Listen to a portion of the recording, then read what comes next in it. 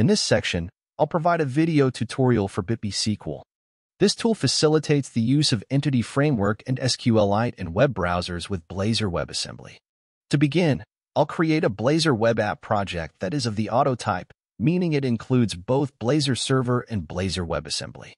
The reason for using Blazor Server is its superior developer experience and debugging capabilities, as well as its improved hot reload functionality.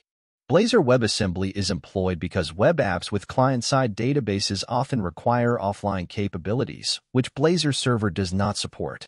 Therefore, when developing an offline client database application, we utilize Blazor Server for debugging, development and testing purposes, while Blazor WebAssembly is employed for production deployments. Naturally, the code we write will work seamlessly in both Blazor Server and Blazor WebAssembly. The project used in this video is available at the provided URL in the video description. To commence, add the Bit.Besql NuGet package to the client project. Then, incorporate its script into app.razor. For this demonstration, I utilized Blazor Auto without pre-rendering to disable pre-rendering though pre-rendering is perfectly compatible. Additionally, incorporate EF Core Design Tools packages to execute add migration and optimize DB context commands. If a project contains numerous model classes, it can negatively impact the program's startup time. The optimized DB context command expedites this step by automatically generating the necessary code. If your project's model structure is simple, refrain from using this optimization as it offers only marginal benefits and has certain limitations, such as global query filters not functioning. Next, add the project models and apply the desired settings utilizing data annotations or entity type configurations. If necessary, provide seed data as well. Now, it's time to incorporate the DB context. According to the issue description, it's crucial to activate the switch that enables the optimized model to operate in browser. Furthermore, in addition to specifying the database file name, it's essential to utilize the compiled optimized model.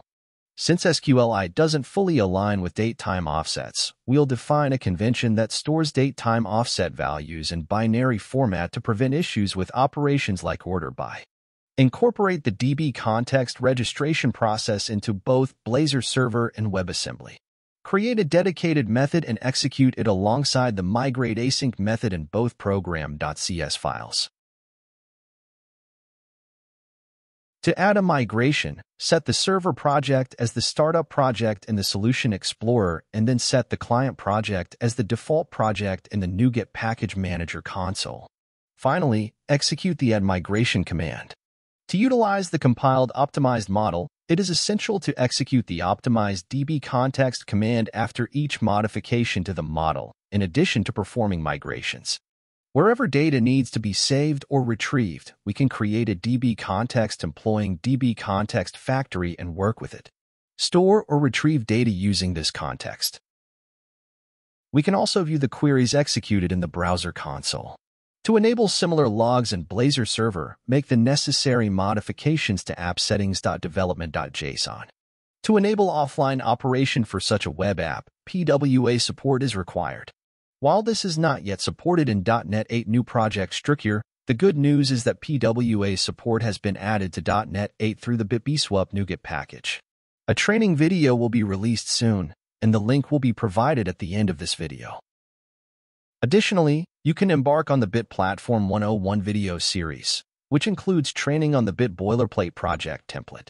This template offers numerous capabilities beyond PWA and offline databases, including dark and light theme support, multilingualism, and many other intriguing possibilities. Furthermore, it produces Android, iOS, Windows, and macOS apps with complete access to operating system features and the ability to utilize third-party libraries written in Java, Swift, Objective-C, Kotlin, as well as web output with pre-rendering and PWA capabilities. In essence, it enables you to produce all these outputs with a single code base.